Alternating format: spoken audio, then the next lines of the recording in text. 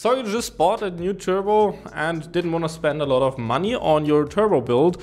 So you bought a $150 Chinese turbo and you put it in your car and you seem to get higher boost than you wanted to. Well, this is where this video comes in because we're today going to talk about turbo porting and exhaust housing porting how to do it, how to do it correctly, and actually in an extended way with some things added to it compared to other videos that just show how to do it the simple way. First of all, what's the issue I'm talking about? Well, mostly it is about the Chinese knockoff turbos um, that are, if you put them on, a car that's, for example, mostly not turbo stock, so often on, for example, an MX-5, a Miata, whatever, and you want to run it at a relatively low boost pressure, let's say 0.5 bar or 7 to 8 psi. Put a different actuator on it and test it out.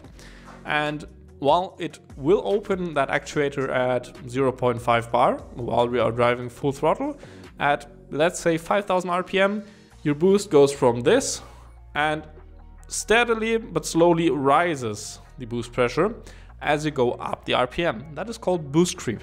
And you don't want that if, for example, you don't have enough injector to support that end of the boost line where it will taper to. For example, the longer the gear is, the worse this is going to get. So if you're, for example, starting at 7 psi, you might end up at like 12 to 14 psi, which you don't want, obviously. Well, yes, it's not too bad for the engine internals. The rods can take high boost levels at high RPMs. Yes, in most engines, that's not a, really a huge deal. But the problem is if you are going to use uh, relatively small injectors like 400, 500, 600 cc's, they might be out of puff relatively soon. Same with the fuel pump and might not be able to support those high boost levels. And you want to bring those down. All right, the first thing you can do is um, port the exhaust housing. Well, that's basically the only thing you can do.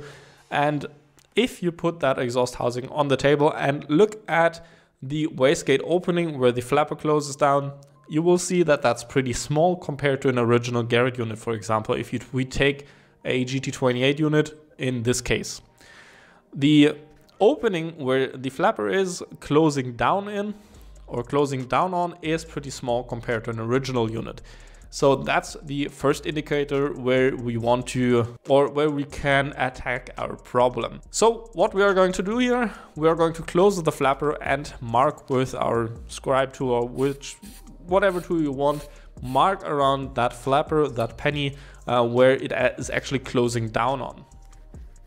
And from that, you can take about three to four millimeters inwards. So there is still some meat there so that flapper can actually seal. That's very important. If you don't have a sealing surface for that flapper, you're going to have um, a leak in between that and you are not going to reach or maybe you are going to reach your boost levels but much later and you are going to have a lot of lag. You don't want that so be careful and don't damage that surface. Uh, just grind away on the inside basically.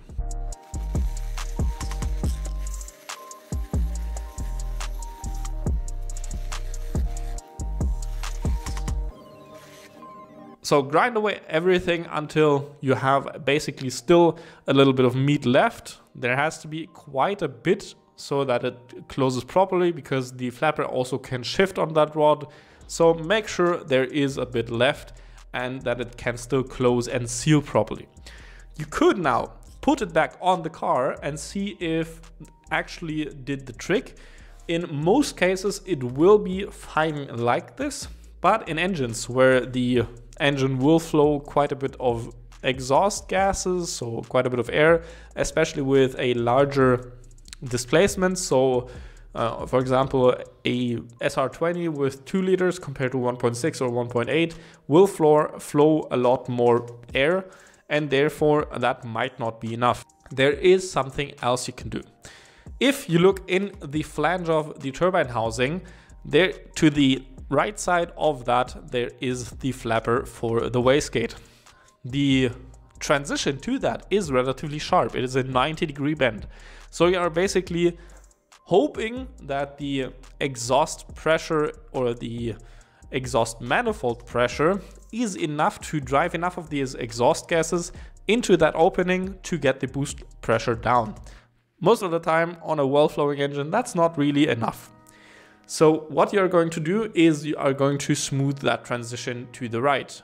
You're going to port the exhaust housing so that there is a smooth curve to the right, not a 90 degree edge anymore. So the gases are directed more towards that flap already and are not forced in a straight line and are just forced down the flap by exhaust gas pressure or by manifold pressure.